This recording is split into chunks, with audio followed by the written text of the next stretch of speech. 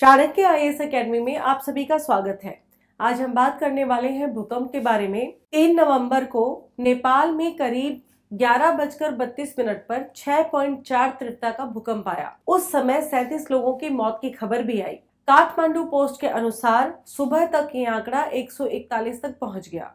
सैकड़ों घरों में नुकसान की खबर भी आई। हालाँकि इसका कोई आधिकारिक आंकड़ा अभी नहीं आया है। नेपाली मीडिया के अनुसार भूकंप का केंद्र काठमांडू से 331 किलोमीटर उत्तर पश्चिम में 10 किलोमीटर ज़मीन के नीचे था।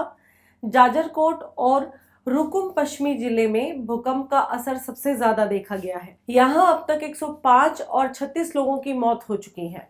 नेपाल के प्रधानमंत्री पुष्प कमल दहल प्रचंड हालात का जायजा लेने के लिए जाजरकोट पहुँच चुके हैं। भूकंप का असर भारत में भी देखने को मिला है। दिल्ली एनसीआर के अलावा उत्तर प्रदेश, मध्य प्रदेश, राजस्थान, हरियाणा, पंजाब और बिहार की राजधानी पटना में झटके महसूस किए गए थे। हालाँकि भारत में किसी तरह के जान माल का नुकसान नहीं हुआ है, इसकी अभी तक कोई खबर नहीं आई है। इससे पहले 2015 में भूकंप आया था काठमांडू में, वो भी बहुत भयावह था। नेपाल में साल 2015 में 7.8 तीव्रता के भूकंप ने भारी तबाही मचाई थी। इस दौरान करीब 9000 लोगों की मौत हो गई थी।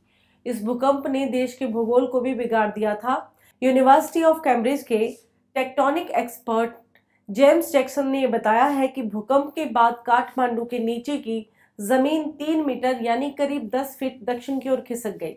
हालाँकि दुनिया की सबसे बड़ी पर्वत चोटी एवरेस्ट के भूगोल में किसी भी बदलाव के संकेत नहीं है। नेपाल में आया ये भूकंप 20 बड़े परमाणु बमों जितना शक्तिशाली भी था। अब यहाँ सवाल ये उठता है कि बार बार भूकंप क्यों आ रहे हैं? तो सबसे पहले हम देखते हैं कि भूकंप आता क्यों है। हमारी धरती की सतह मुख्य तौर पर सात बड़ी और कई छोटी छोटी टेक्टोनिक प्लेट से मिलकर बनी है। ये प्लेट्स लगातार तैरती रहती है और कई बार आपस में टकरा जाती है। टकराने से कई बार प्लेट्स के कोने मुड़ जाते हैं और ज़्यादा दबाव पड़ने पर ये प्लेट्स टूटने लगती हैं। ऐसे में नीचे से निकली ऊर्जा बाहर की ओर निकलने का रास्ता खोजती है और इस डिस्टरबेंस के बाद भूकंप आता है। बात करते हैं अब कि भूकंप कहाँ आता है, यानी कि विश्व में भूकंप सबसे ज़्यादा कहाँ आते हैं।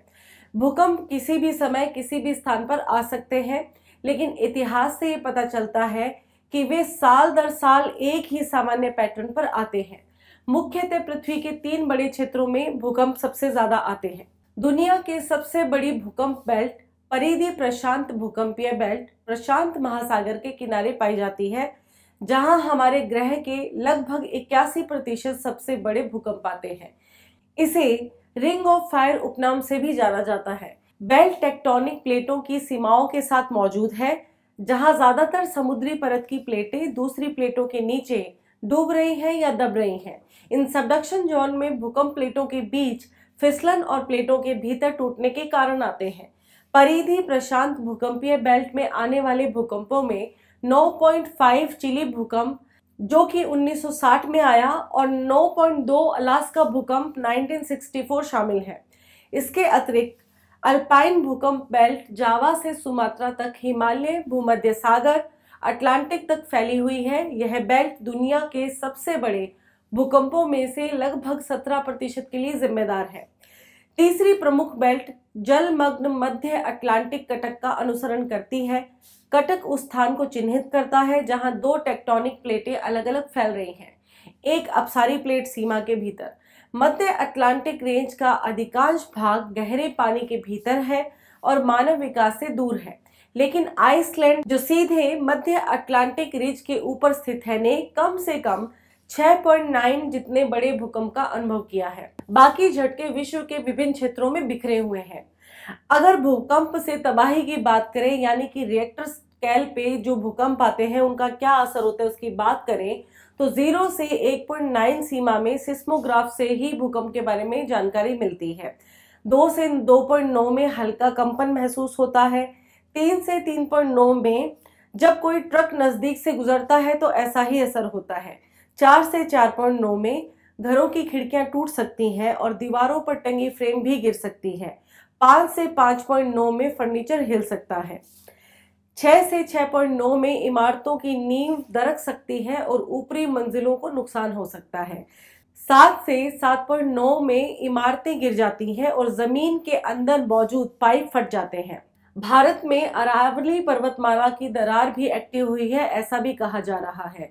अरावली पर्वतमाला की पूर्व में एक भ्रंश रेखा है। यह भ्रंश रेखा राजस्थान के पूर्वी तट से होती हुई धर्मशाला तक जाकर मिलती है। इसमें राजस्थान के जयपुर, अजमेर, भरतपुर इलाके शामिल है। अरावली पर्वत में जो दरारें हैं, उनमें हलचल शुरू हो चुकी है। अब ऐसे भूकंप के झटके जयपुर समेत इससे सटे हुए अन्य इलाकों में भी आते रहेंगे।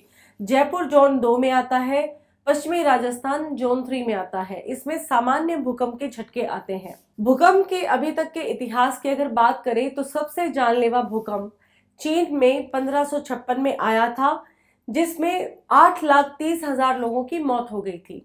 तीव्रता के लिहाज से अब तक का सबसे खतरनाक भूकंप चिली में 22 मई 1960 को आया था। रिएक्टर रिएक्टर स्केल पर इसकी तीव्रता 9.5 थी इसकी वजह से आई सुनामी से दक्षिणी चिली, हवाई द्वीप, जापान, फिलीपींस, पूर्वी न्यूजीलैंड दक्षिणी पूर्वी ऑस्ट्रेलिया समेत कई देशों में भयानक तबाही मची थी। इसमें 1655 लोगों की मौत हुई थी, जबकि 3000 लोग घायल हो गए थे। इसके साथ ही आज का ये टॉपिक यहीं पर समाप्त होता है। हम फिर मिलेंगे एक नए विषय के साथ। आप हमारे YouTube चैनल को लाइक शेयर और सब्सक्राइब ज़रूर करें। धन्यवाद। Don't forget to like share and subscribe to our channel and press the bell icon to never miss an update